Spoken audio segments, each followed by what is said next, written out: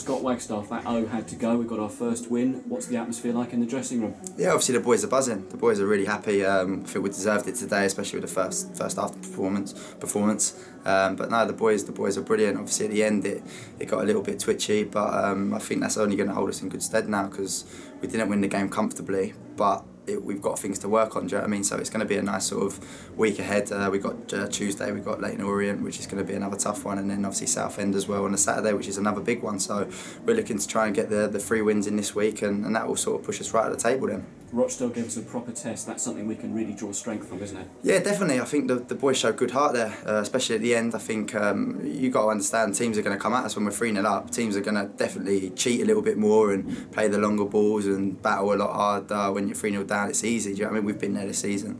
Um, it is a lot easier, but um, the boys showed good character at the end to, to hold out, and, and I felt we definitely deserved, to, deserved the win. What's it been like working with Glyn Hodges on the training ground this week? Because it seems like you picked up where you left off against Peterborough, attacking. Yeah, no, the boys the boys have been brilliant. The boys have been brilliant. They've taken obviously everything that, that Hodges put in, put into place, and, and it's obviously showing the, the rewards on the pitch. I think, especially first half, we, we were excellent. Um, we, we've, we've tried to retain the ball a lot better. Um, and I felt we've, we've tried to play a lot more, um, which which is nice for obviously me as a as a sort of attacking sort of player. Well, not anymore, but um, yeah, no, it's, it's, it's nice. Um, so no, the boys are enjoying it, and hopefully we can carry that on now. Yeah, you touched upon defensively as well. We had to reshift it around. You're playing right back as well now. Um, well, we did very well this afternoon, didn't we, in the end, really? Yeah, no, obviously it's, it's, it's a place I've, I've played before. Um, obviously, the older I get, the, the, more distance I've got to try and cover. But it, no, it's, it's, it's good, obviously. As long as I'm playing, that's the main thing for me. I want to be playing and, and helping the young lads because we've got a really young team here, and, and that's all I'm going to try and do now. And, and we need to make sure we pick up the wins and, and get a good little run going because it's a great feeling. Uh, the boys are all happy in there, and, and that's how it should be. And we haven't had that winning feeling for a while, and we need to, we need to bounce, bounce back again next week.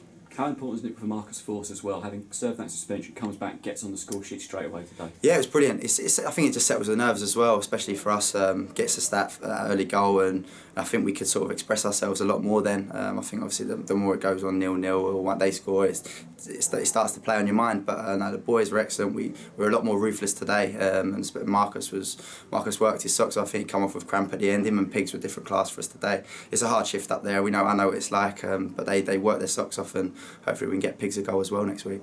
And on the other flank to you as well, Paul Osew. I mean, it's an incredible story, the, the rise he's had so far this season. Yeah, he's been brilliant. He's obviously had to bide his time. Leicester's done really well in there, so he's, he's had to bide his time, and I felt he's, he's taking it with both hands. He's he's some athlete. He's some athlete. I'd never like whenever I've played against him, I just let him run past me because I know I'm not going to catch him.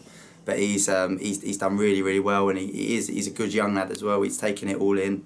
Um, same with Maxi in the middle as well. They're, they're both taking it in. And we got we got a very young team, and, and they've all been really really good. And, and now, obviously, winning this game will hopefully help them uh, build their confidence as well. What message does it send to the rest of the squad when you get Mitch Pinnock, who's, who's come in the last two games? He's been brilliant, and it shows the rest of the squad you can get in there as well. Yeah, no, no, definitely. Obviously, Mitch is one of them as well. He's sort of bided his time. He's, he's had to, he's had some he's had some tough times at the minute. Um, but I said to him, that's, that's football, it happens. You, you're going to have to just work hard and keep grafting. And, and he's done that and he's, he's deserved his two goals. And I thought Woody was excellent as well coming back in.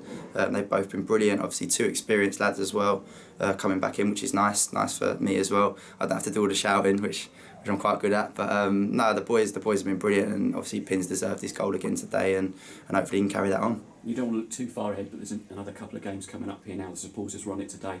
We want this atmosphere again for the next couple. Yeah, definitely, it was brilliant. No, it was different class today. I think you, you get goosebumps, especially when the third goal went in. You sort of get that buzz, and it's brilliant to play in front of. Obviously, I understand when we haven't been winning games, it's, it's difficult to try and stick with it. I, I do understand that, but these are probably some of the best fans I've played for, as in um, looking looking after the boys when we've got beat and things like that. So they need to stick with us, and, and we'll always give 100% for them. Waggy, very well done today. Cheers.